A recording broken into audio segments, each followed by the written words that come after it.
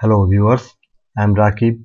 In this lesson I will show you how to apply threshold effect in Photoshop and will also show you some other adjustments that you can make to the images using adjustment layers. So keep watching.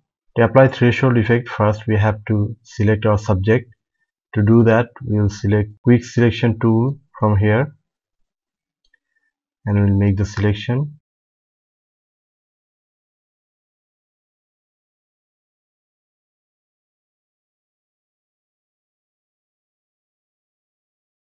so after that we will click here to add layer mask and we will click here and select threshold. So this is the threshold effect and now we can use this slider to customize it. We can drag right to add more details and we can drag left to get rid of this uh, noise and make it more smooth in this case uh, I will keep it this position. And now uh, we will remove all the white color to set a uniform background color behind. Uh, to remove this white color first we will right click here and select merge down to apply this uh, threshold effect permanently. And after that we will select the background eraser tool and click here once and we'll drag like this to remove all the white colors.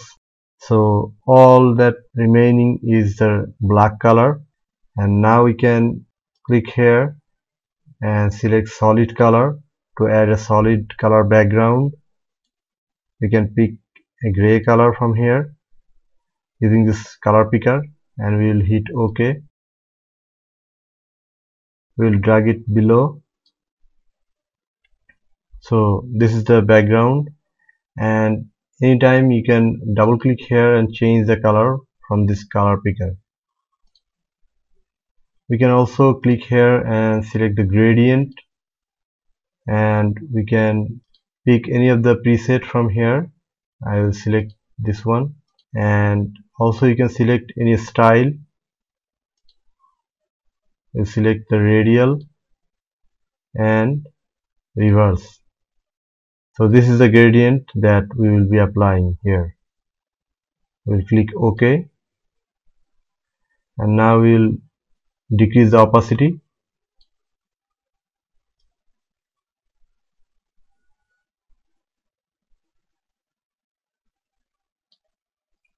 After that we can also add pattern from here you can select any pattern from here and you can click here to get all the categories here. Not all categories are shown here. Uh, some are outside this uh, screen. I'm sorry for that. Uh, but you can pick any of the category from here. I'll select this one and click OK. You can also double click here to change the pattern anytime so that's how you can make this kind of adjustments uh, to your images. And let's see another photo effect which is posterize and to apply that we will click here and select posterize. This is the effect and we can change the level from here. I think this one is looking good. That's the before and after so that's all for this lesson. And with this lesson we have completed chapter 5 which was image adjustments. And from the next chapter we will discuss about filter effects. So stay connected subscribing to this channel and thanks for watching. Hope to see you in the next chapter